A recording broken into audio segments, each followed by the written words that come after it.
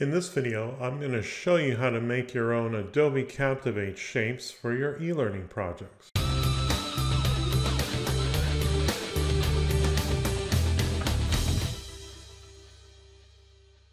Recently, I did a live stream for my YouTube members on how to create a multiple choice, multiple answer question completely from scratch using shapes in this case but you could use just about anything that you can use as a button for that particular interaction.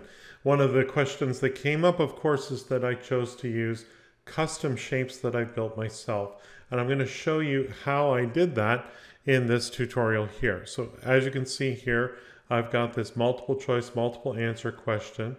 And um, behind each one of these is just a shape. This is a single object. It's a custom shape. It could be a rectangle, it could be a star, it could be an oval, it could be anything, but I've used the custom shape feature and I'll show you how you can build your own.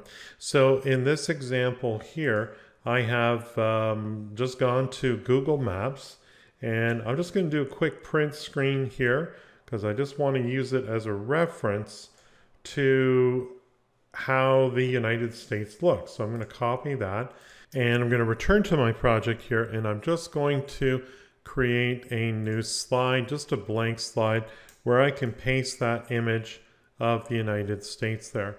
And this shouldn't take too long here, but the tool I want to show you, you've got all these shapes here. And one of the common complaints, of course, is, well, there's not a lot of choices here. But this little guy right here, this polygon option with the little uh, crosshairs and the line coming from it, that's your best friend if you want to create something that's truly unique and doesn't look like one of those boring shapes here. So I'm going to pick a spot, the upper left-hand corner of Washington State here, and I'm just going to click and then drag my mouse over here. And of course, depending on your needs, this can be more or less accurate. I'm just going to kind of hit the main points here so you can see what happens in this case here. I'm going to go around the lakes, of course, because I want to show the shape of the United States.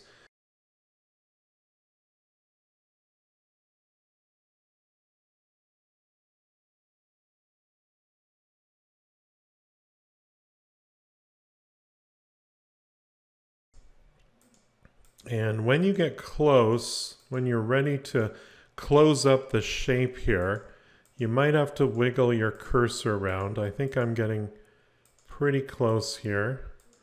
And we just got to find, you see the little circle appears when you're touching that. And I'm just going to click there and my shape is created. It's a little hard to see here because I've got a shape that has uh, zero opacity, but if I increase that to 100%, we now have this item here.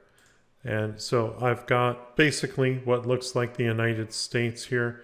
Might want to make that, you know, green or something like that. Let's just borrow that color from the first slide there. That looks pretty good. And one thing you can do, of course, with these custom shapes is you can click on this little tiny menu right next to custom here and save shape. And we're going to give that a name. And of course, the obvious name, USA click OK. And if you need that again somewhere else in your course, you can see there it is there. So I can just draw it out whenever I need it. And again, we can just uh, choose any old color that we wish. And of course, you can even add text to this shape here. So I'm just going to type in uh, United States of America. And you'll notice that some of the formatting controls aren't there. I'm going to center this. And it's always going to sort of start at the top here or where it has room, but it will wrap based on the shape itself. So if I bump this font up quite a bit here, let's make sure I've selected it there, you'll see that it wraps according to the shape and you can find a size that's maybe most appropriate for how you're going to use it there. Uh, obviously, when you uh, do this, you might want to make, make a note of the dimensions here, the aspect ratios. So in this case here, uh, you want to make sure that you're 432 high for every 800 wide that you're doing. And of course, um, you can just adjust that to whatever size that you need for your situation. If you thought this video was useful, please like and share with your colleagues. If you need help with your next e-learning project, hire me. My focus is to create effective e-learning that achieves your business goals. Visit my website at CaptivateTeacher.com and don't forget to subscribe to my YouTube channel.